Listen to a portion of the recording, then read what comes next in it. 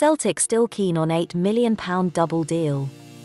Reports over the past 24 hours have claimed Celtic are still keen on bringing Carl Starfelt to the club, while simultaneously chasing French fullback Brandon Soppy.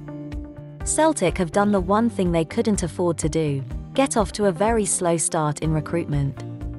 Fans want to see quick and decisive action once targets have been identified and the manager has signed off on it.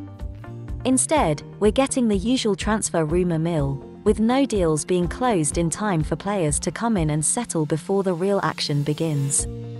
It was reported by Fabrizio Romano that Celtic had called their interest on Rubin Kazan defender Carl Starfelt until they are certain they know what's happening with Kristoffer Ajer's future. However, Record Sport claims Celtic are still keen on the centre-back and they're also chasing Brandon Soppy in what would be a quick double swoop if they could get both over the line. Celtic have a Champions League qualifier next week. It's safe to say anybody who comes in now will not be part of that squad. The SPFL kicks off at the end of July. It's important we have players primed and ready to go for the start of the campaign. Can the club get these deals over the line? Record Sport claims Soppy is available from Rennes for around £4 million, and Celtic believe they can get Carl Starfelt for a similar price. Spending £8 million on two first team ready players should be seen as a good investment. In other news, Celtic midfielder has transfer change of heart. I say get this Frenchman out the door. Olivier Ntcham has been looking to leave Celtic for quite some time. The midfielder went out on loan to Marseille last season and hoped to win a permanent deal. In the end, his manager quit over his signing to the French club and he was rarely played.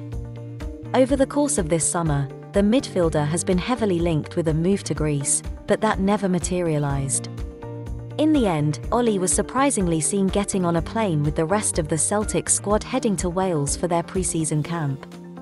The Frenchman played the second half of Celtic's win against Charlton at the weekend and Ange Postecoglou is giving Ntcham the same fresh start treatment the rest of the players are being afforded.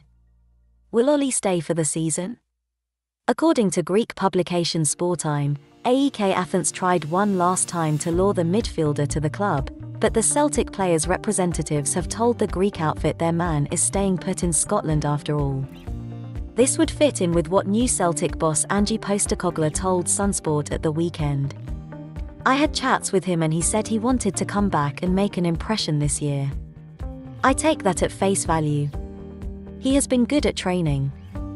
He is lacking a bit of match touch and fitness, but he is part of the squad and hopefully he can make an impact this year. I don't think there's any danger of Ntcham signing a new Celtic deal. It looks like he will run down his contract and sign a pre contract with a club of his choosing after the new year. Make sure you subscribe for more football news.